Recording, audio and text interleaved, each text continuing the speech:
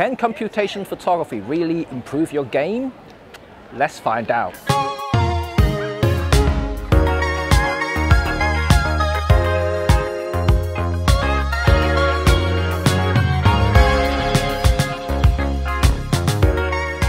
As you can see here, like absolutely tons of people here because of change of guard this morning and uh, I finished a client shoot early in the morning and uh, but it's really packed. I don't know why people just queue up and, and to be quite honest I think it's, it's actually wasting a lot of taxpayers money. It, it, you know the amount of policemen actually on patrol and guarding this place every single morning. I'm not joking and, and, and to be quite frank I don't know like whether whether the income generated, generating from these crowds here is enough to cover all these police um, uh, expense that, that we actually have to uh, uh, pay up basically. And uh, well, I don't know, let me know your thoughts about this.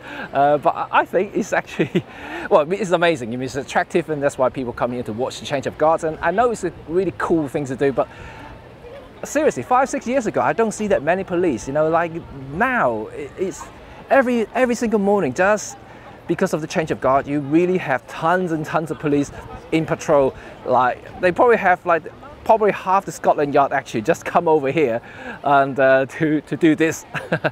anyway, let's go back to what we're going to talk about today is the uh, computational photography.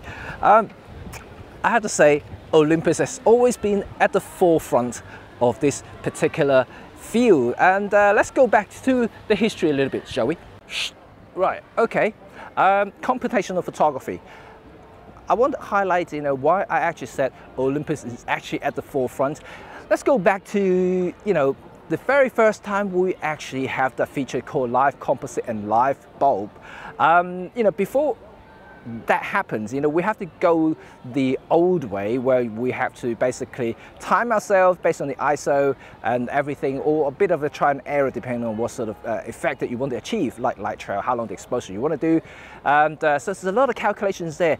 To our advantage nowadays, you know, or, Olympus users at least, and uh, and also a certain number of Panasonic users because they just have the live composite feature uh, in the latest cameras. Uh, but having said that, you know, uh, Olympus user has enjoyed this particular function for quite a while now. Um, it's actually really cool. I'm not talking about fake bokeh, which is all computation photography as well. It's all part of it. And uh, it's actually very interesting to now have that. Um, but let, us go back to the, the live composite. I think is it really cut down a lot of the guesswork from a lot of people who like to do some low light photography, night photography, long exposures for instance and everything like that so making sure that you don't overexpose your shot. I remember in the film days when I used uh, uh, started to do long exposure at night time uh, very often I run into trouble where I'm overexposing uh, the details and things like that. Especially there are techniques of like you know putting card in front of the camera for uh, to avoid uh, the the film being overexposed, and then you just kind of let, let go for every time you know every certain amount of time you let uh, you open the shutter. Shutter? Yeah the, the blind basically. And uh, so this is sort of thing that uh, I used to do and then uh, it's quite cumbersome. It's a lot of guesswork and, and then you have to do a lot of practice where I'm not specialized in nighttime photography so like that would take me ages to get something decent. Um, but with the live composite and live bulb it makes a lot of guesswork just gone completely gone. You know, like I can now do a lot of really cool night shots uh, without overexposing anything. I can get the effect that I want and uh, seeing live building up on the screen, it just super, super cool. Uh, I like the features a lot and then uh, this is, I think, the time when computational photography really helps people who know what they want and also what they want to achieve in the minimum amount of time. So the question is, will computational photography improve your game?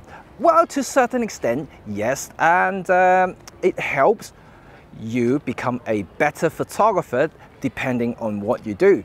Um, for instance, um, like if you're a long-term nighttime photographer, uh, you are dedicated to do all these long exposure shots and things like that, these will get you the perfect, and I mean perfect shots every single time if you know what you're doing. Um, for people like myself, and uh, yeah, I'm having fun with the live composite and live bulb thing, and certainly it, it, makes photography fun again, and uh, especially for any sort of photographer enthusiast, and uh, definitely, and I, I, have no doubt, it's helping everybody. Um, but that's a but though, you know, if you don't relying on these features to make money, it, it certainly is a fun factor, but you have to consider something.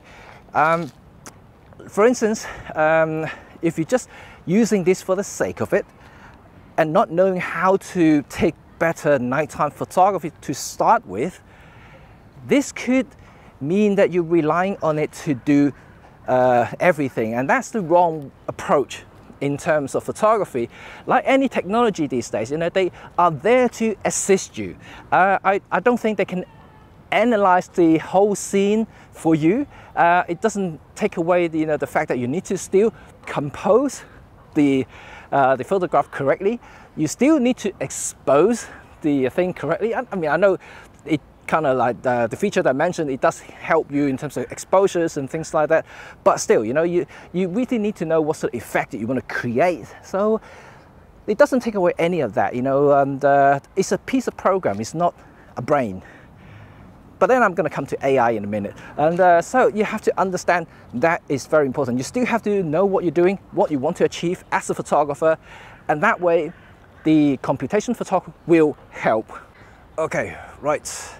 Let's sit down here to continue our discussion with artificial intelligence, the AI. Uh, yeah, it's getting everywhere now, and I think every manufacturer is trying to get a hands on AI photography, um, which is kind of still computer, so I would still group it into computational photography um, is part of it. But will AI also help your game? Well, that depends on what you do. Uh, in Olympus term, it's deep learning, you know, and uh, so they trying to throw a, like hundreds of thousands of images of plane, trains, and cars to, to the computer, so hopefully it recognizes when it sees one. And uh, so that, that's how they train the AI in terms of like trying to uh, recognize certain subjects. Um, so would that help?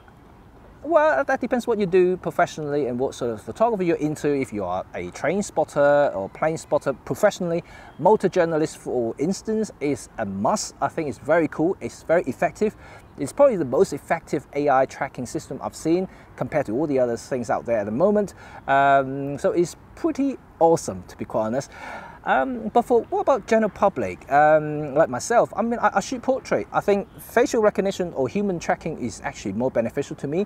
I think that might come, and then, uh, but I think that doesn't take away the human interaction side of it because you as a photographer still have to control certain elements. The AI will help if you are doing this like on a day-to-day -day basis uh, because it will help taking away one of the elements you are constantly worrying about is the getting the sharp shot on the subject. Uh, with AI uh, uh, subject trackings now, you can work. You, you don't have to worry uh, about you know um, uh, the things that you want to photograph is not in focus, but you still have to worry about the compositions and also exposure. So you, you cannot take away with the elements there. Uh, so you just have to be very, very careful uh, not to overthinking about AI and it's going to be doing everything for you and it doesn't. Um, and I think that will continue the trend for a long, long time. And I don't think, you know, one day you're going to pick up a camera and just say, can you take a great shot for me? I don't think that is going to happen because he can't think for you. He doesn't know what you think is a great shot. It's, he has no personality in terms of a style, uh, or, or it will have one style for kind of everything, so that may not be good anyway. Uh, so, but you know what I mean, you know, like every photographer has its own distinct style, and that is going to continue no matter what, and it's an art in my mind. So uh, uh, every developer, oh, and developer, every photographer has an eye. You know, they, they see certain things in a very different perspective and that's something you have to remember. So AI computational photography will definitely help your game if you know what you're doing, but if you're not, if you're just a novice, if you're just a beginner, don't try to rely on all this computational photography to help your game because it won't if you don't understand what you're doing. And uh, that might actually work in reverse. You know it might cripple you in the long term. Uh, so yeah uh, let me know what you think about computation photography, whether you agree with my points or not. Uh, yeah, leave, the leave some comment down below and we can have a nice discussions there. And uh, what about fake bokeh? Let me know about, let me know what you think about fake bokehs. And uh, you know, I already mentioned it, you know, it may mature at some point and whether we're going to see fake bokehs in photography. So like if you have f2 lens, it might turn into f.95. I don't know whether that will happen. And uh, but you know, you never know. You never know. Uh, someday it may happen. And what what, what sort of thing that you may want to see as well in terms of uh, computational photography or even AI? What sort of thing you may expect to see in the near future in terms of photography? Uh, yeah, let's uh, let's have a nice talk. I'll be interested to see. Anyway, um, see you next time. I'm tired. I'm uh, yeah. After the heat, actually, you know, so many people outside, and to be quite honest, I'm, I'm just uh, yeah, getting a little bit overwhelmed. So uh, anyway, until next time, I'll see you soon. Bye now.